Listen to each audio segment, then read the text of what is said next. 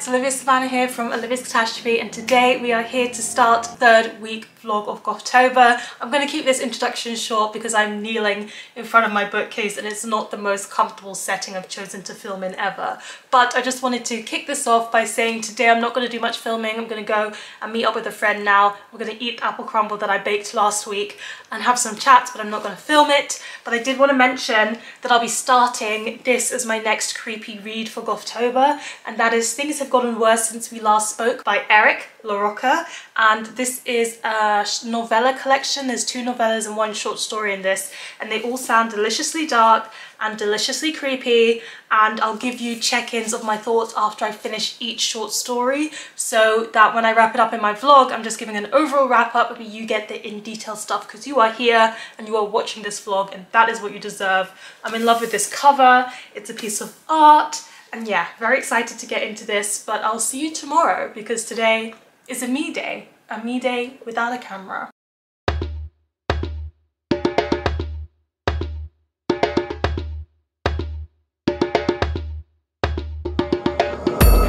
Just about finished reading We Are the Brennans by Tracey Lange and this is the literary fiction book that I thought was a thriller but it's actually a literary fiction book that follows a big family. If you want a full synopsis check out the vlog before this one because I just read the last 75-ish pages and it was a very interesting ending. I do think I, this is one of those books where I really don't know how I feel about it because there are some things I didn't like about it but then there's some things that I really really did enjoy. And overall I think it's a very good and it's a very solid story.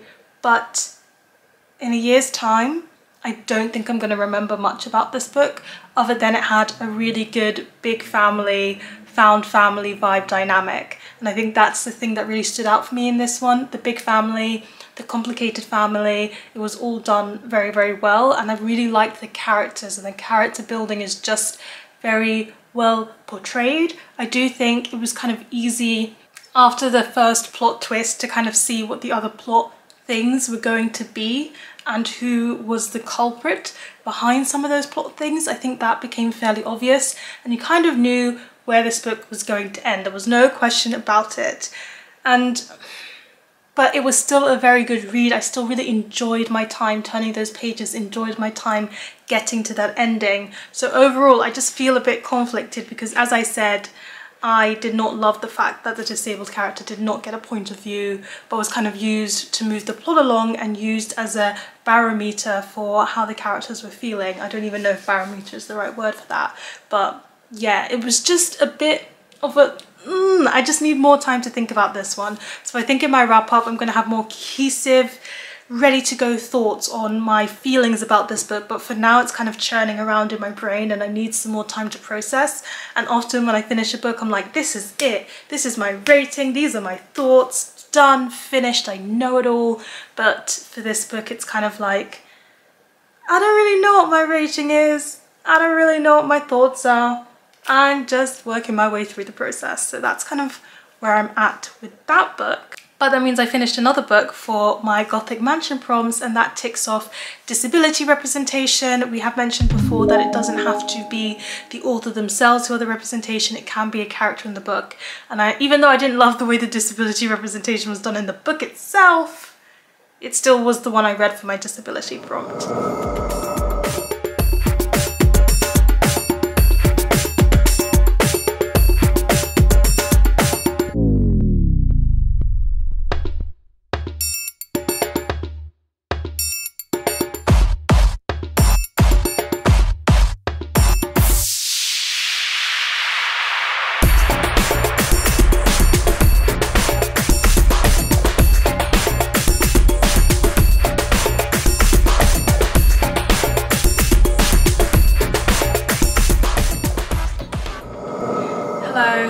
This week has been 110% and I just haven't updated you in a while. So we are going to do one massive update and then the rest of the weekend will be the rest of this vlog and there'll be some more clips this weekend because I actually will have time. We Are the Brennans was my travel book so since I'd finished my travel book I started another travel book and that is Beautiful Broken Things by Sara Barnard. I woke up one day and I was just feeling really sad because it's been a while since I'd read a young adult contemporary book and I was just kind of done with reading adult. I don't know you know my mood I just felt like it was time to read some young adult books. And so I picked up this one. This is the oldest young adult book on my TBR so I feel proud that I picked it up. And it's all about friendships. I'm actually only 100 pages from the end already. 100 pages from the end. That's how much reading I've been doing and how much back and forth to work. Travel time but it's about this group of friends. There's two best friends who are a tight unit. They've always been very close but then one new person shows up and integrates herself into their friendship. But she has a lot of trauma that she's working through and she's kind of dragging down one of the friendship members with her. And it's about the complications around their friendship surrounding this and surrounding her trauma and how it's kind of eking into other bits of her friendship and their lives. And I do think this is just really really well written. I've read A Quiet Kind of Thunder by this author and I was just impressed with how she tackled that subject. And this one is quite dark, it's going into childhood abuse, it's going into suicidal thoughts, it's going into a lot of dark places. And as a teenager that can already be such a difficult ground to work through because you've got all of the insecurities and things that come with growing up in there as well and I'm just marveling at how it's showing the complexity of this friendship and this dynamic.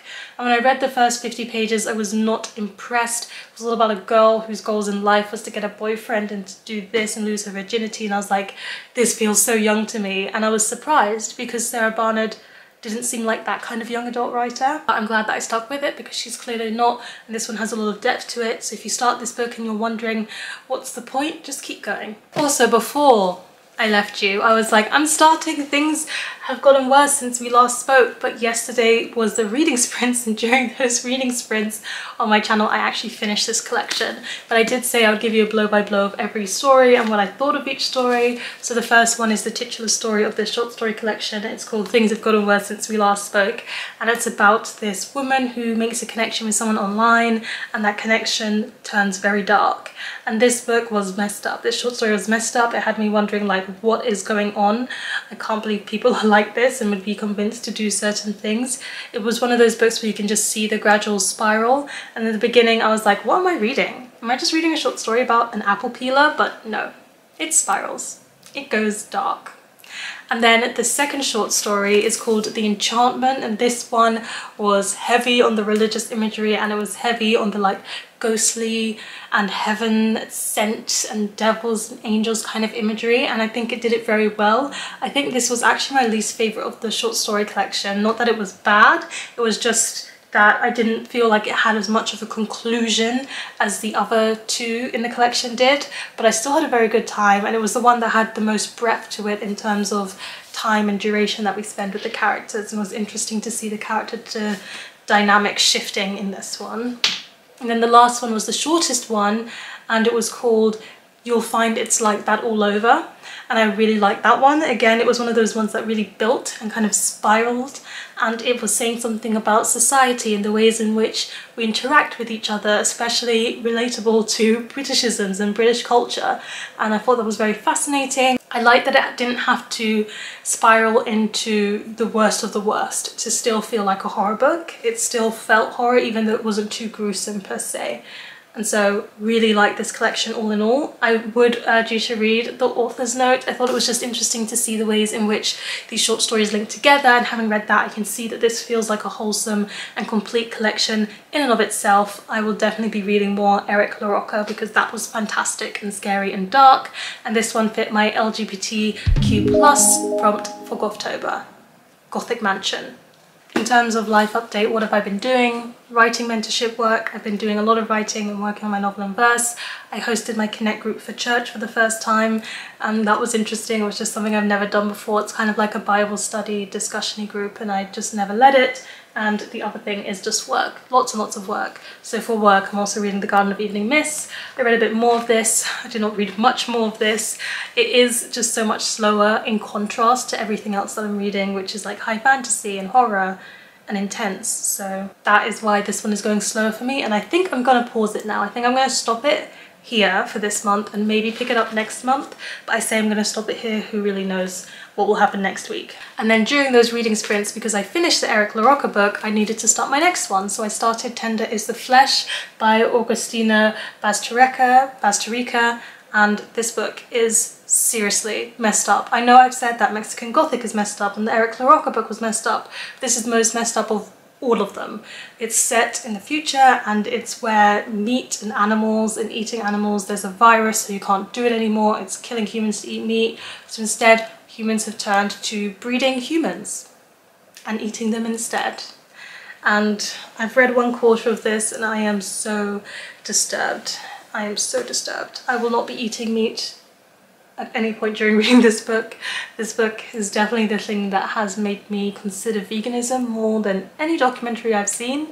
It's really talking about the power of words and the ways in which language really affects our perception and understanding of things, which is something we all universally know, but the metaphor in this is driving it home all the more. I also just think it's written really compelling in a compelling way. It's written really well. It's not beautiful per se because the subject matter is brutal and gruesome and horrible, but it is like needling and constant and dark and disturbing and it's doing that very, very well. And so I'm just absolutely enamored with this book while actually feeling queasy while I'm reading it. Usually with horror, I don't feel too queasy, I don't feel too scared, but this one, it's got me it's got me. It kind of reminds me of the Spanish film, The Platform, if you've seen that horror film. It's got the platform vibes and commentary, but it's a slightly different situation and in a book. So I'll be reading more of that and telling you more of my thoughts. Do you want to choose the next tea? Because we drink tea and read books here on this channel. I don't even know which number I need to get to next. 13? Yes, I need to get to 13. So I know this tea. This tea is wild apple and cinnamon. It says a sunlit orchid of warmth and sweet spice. From old orchids, apples come with sweet and spicy cinnamon. Perfect Christmas heaven. And I already know they're correct because I've had this before. So I can already tell you my review. I think the wild apple and cinnamon flavour is great. This is one of the teas, like you often have apple and cinnamon tea and it's heavy on the cinnamon and light on the apple flavouring. But I think what Pukka do really well here is that it's heavy on the apple and light on the cinnamon, if that's the kind of thing you want. So let the weekend begin.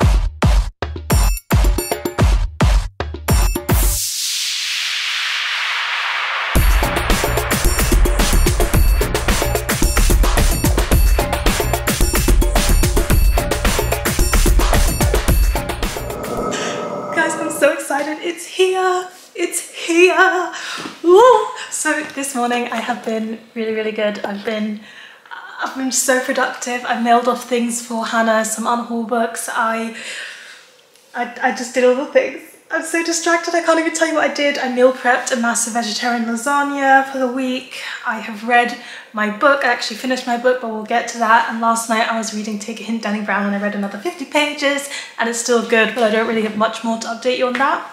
But this arrived. It's the OwlCrate box. So if you watched my video, I am on a book buying ban. You'll know that I cannot buy any books this whole year for a whole year until July next year. And actually when I went to the post office, I popped into the works and I saw that, what's the book called again? You've Reached Sam by Dustin Thao was for five pounds in the works and I had to leg it out of that shop. Literally I ran because I was so tempted to get that book and that is the most tempted I've been since I started my buying ban. But I have one exception where I can buy one book this year and that was the OwlCrate edition of Greywaren by Maggie Stiefvater because it's the last book in the extended series of one of my favorite series of all time, which is The Raven Cycle. So this is the extended series. I don't even love it as much as The Raven Cycle. Mostly I found it average, so I have no idea why I am so excited to have the last book in my hands, but I really, I really am. I, I forgot that this was coming, so I got an OwlCrate package and I was like, I didn't forget Greywaren was coming, but I forgot it's coming in an OwlCrate box. Because usually if I see a box that's OwlCrate or Illumicrate, it means Hannah's unhauled something and is sending it to me. But I opened it and the first thing I saw was this art print and so I just lost it.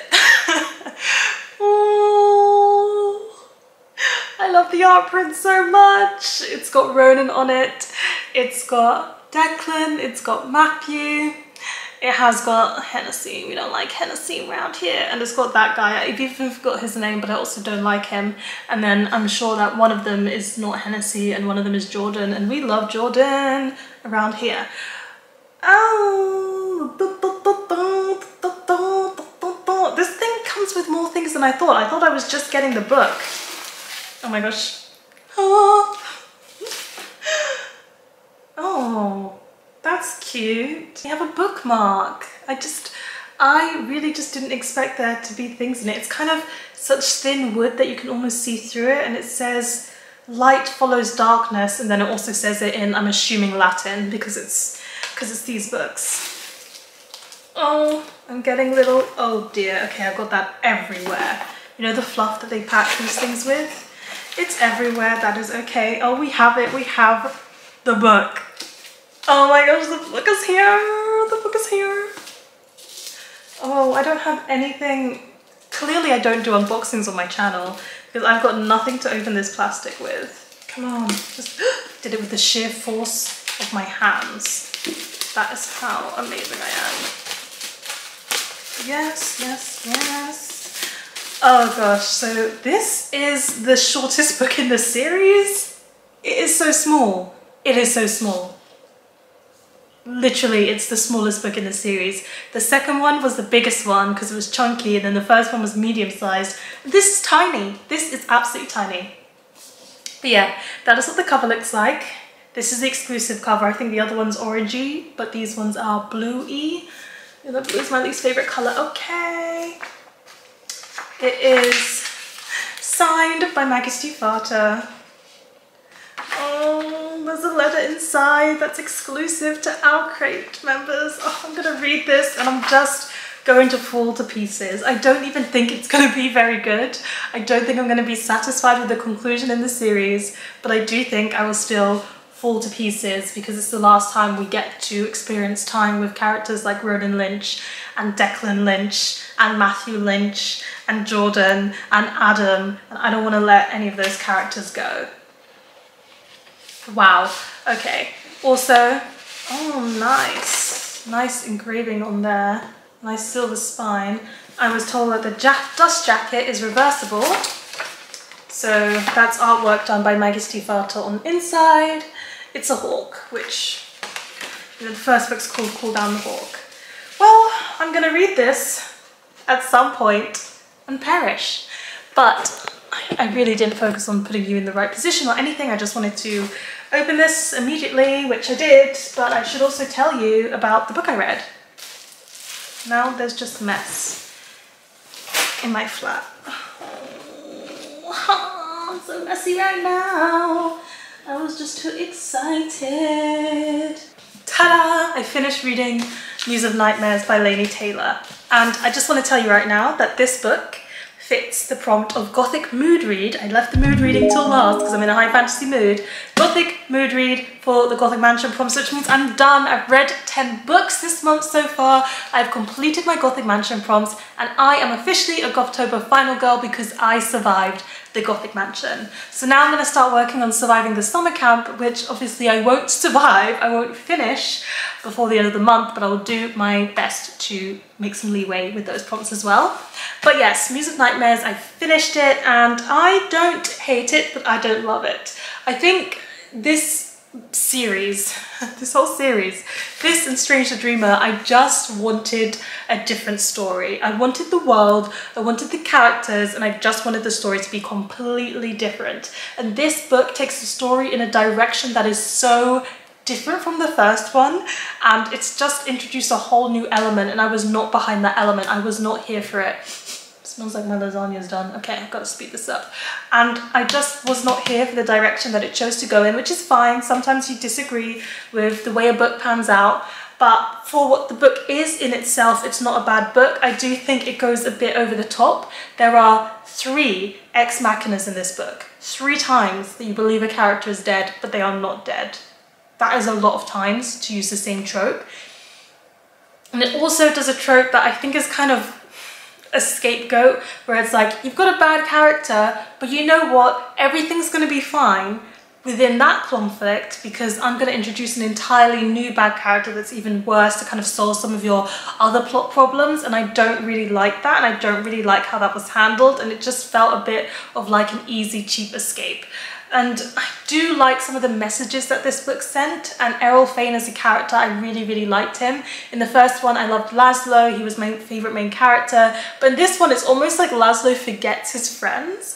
And it's also like some characters who were main characters in the first book are secondary characters in this one and they have this whole storyline and it's so much character change from where they were in the first book that you're like, I wish we were there for a bit more of that development and that that storyline was a bit more impactful on the story, but it was more so just included as a side note, footnote to kind of show where the character ended up. So all in all, I think there were some good things in this series and there were some not so great things in this series, but ultimately personally it just wasn't one for me because I would have written this book very very differently. And I'm not writing this book so I'm not going to give it a bad rating or anything because I can't rate it for the things that it did not do. But for the things that it did do I think it did them okay. Not the best but okay. And that is my thoughts. Those are my thoughts on Muse of Nightmares. Having just immediately finished the book.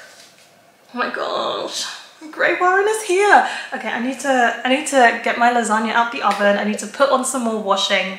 I probably I was gonna take a nap because I was feeling tired, but now I have energy, so I might I might film something that is for another video, which is sponsorship, which is exciting, but won't be in this vlog, I'm afraid.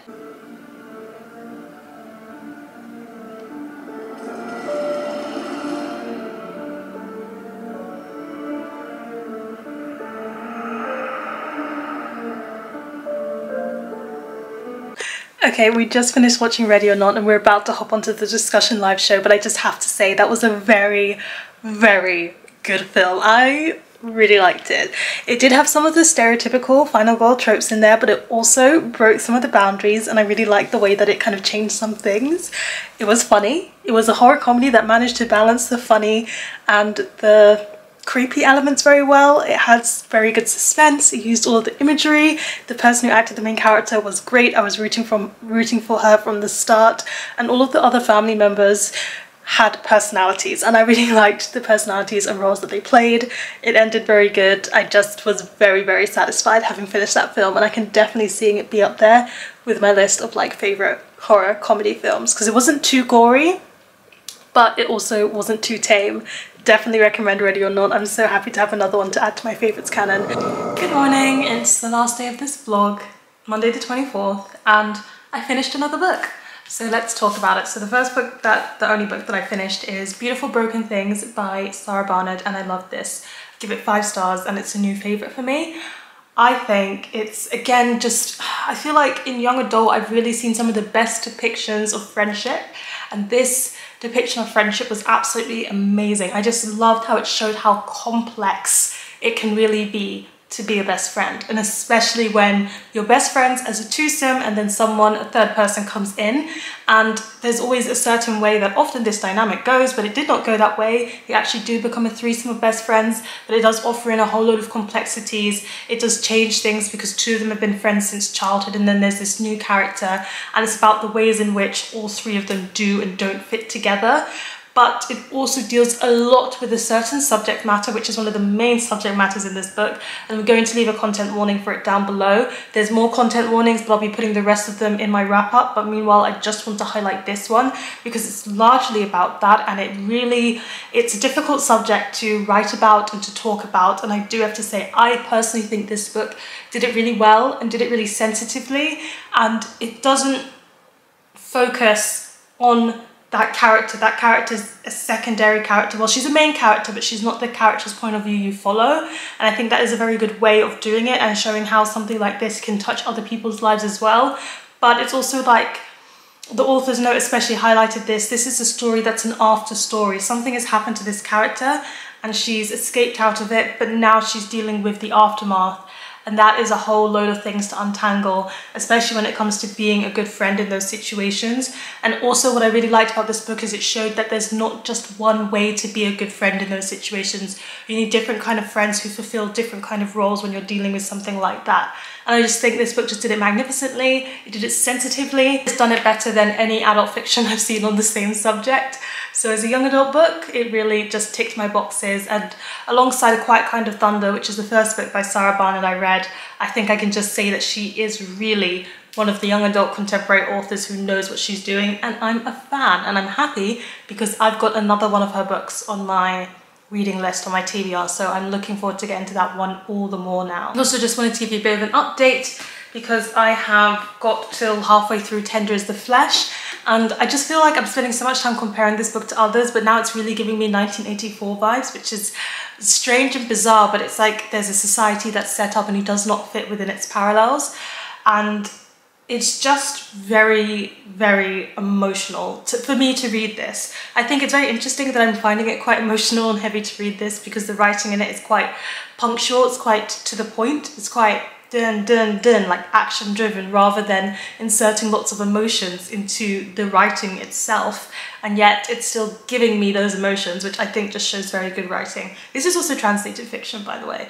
so whoever translated it did a very very good job. I'm very much enjoying it and hopefully I'll be finishing this in the next vlog because I'd like to finish that before the end. I forgot to mention that beautiful Broken Things ticks off my prompt for multiple survivors because multiple people did survive this book. And I also started One of Us is Lying by Karen McManus. It is a young adult thriller murder mystery book and it's about these group of children who go into detention but only four of them come out because one of them is dead and they all have motive to kill this teenager. So it's Who Done It. And I think it's very popular. It's got nice frayed edges. I had been avoiding it. I don't think young adult thrillers are my kind of thing, but I was at a blogger event and I got a copy. So I've also got it signed to me. So I really hope I do like it and I'm looking forward to seeing what I think of it. As for today, I just went and met up with my friend. We had a good time. We went to Waterstones Piccadilly. We just had a catch up, some drinks and just talking.